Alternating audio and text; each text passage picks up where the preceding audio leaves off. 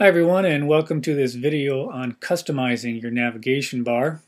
When you first create a site and start adding pages to your site, you might notice that they will automatically begin to appear in your navigation bar if you don't happen to select a location.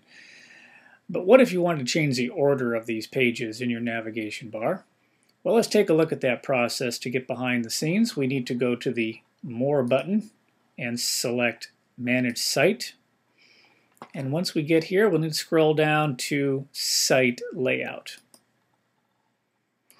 Here in Site Layout, we have a number of things that we can customize the site with. Uh, we'll look at all these in another video, but in this particular one, we want to focus on the sidebar.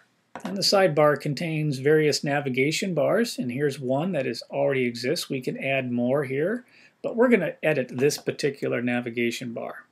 So let's go ahead and click on Edit. And we can do a number of things right off the bat. First of all, we can actually title the navigation bar and display it. Right now it's not displayed. So let's just call this Pages. And we can display it. You'll see what it looks like when we go back. But here's the kicker. Right now, Google automatically organizes my navigation bar. I prefer that it not. So I'm going to uncheck that.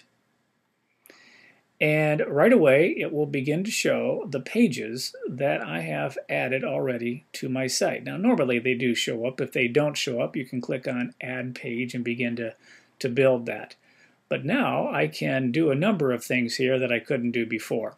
For example, let's say that this uh, file cabinet page I have here, I can select it, and now I can begin to move it into a different location on the navigation bar in a different order. I have my home page right up here. And let's say I have a page that I no longer want to have displayed. So I can simply remove that by clicking on the Remove button after I've highlighted it. So that's really taking over the control over the navigation bar. Now if you do turn this on, let's take a look at another possibility here. Let's click on OK and see what that's done.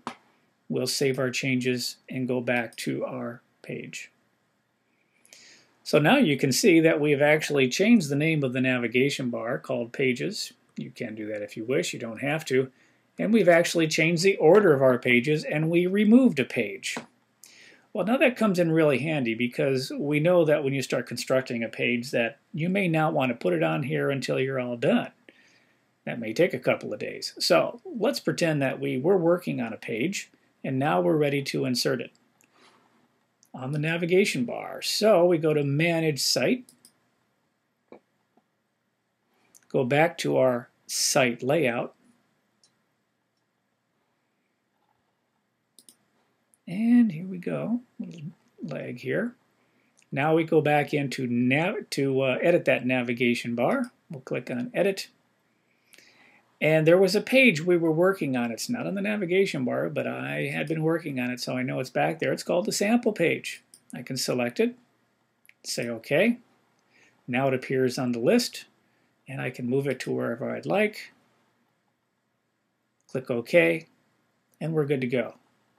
Just one more thing here before we leave this. In addition to adding pages, I can actually add URLs. So in that navigation bar, if I want to send someone to a particular URL, all I have to do is to add URL, put the text in,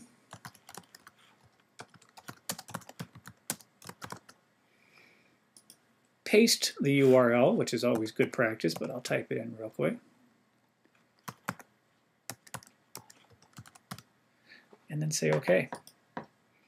And it looks like a page, but it's actually a link. So that's a handy little feature. Let's click on OK and see what it's done to our navigation bar. We'll save our changes, return back to our site, and sure enough, there's that sample page that we've been working on. It's now ready for people to see. And now this Grant Wood AEA does show up, and it's a link. So let's click on that, and that should take us to where we want to go. Very good. So I hope you found this uh, video helpful, and have a good day.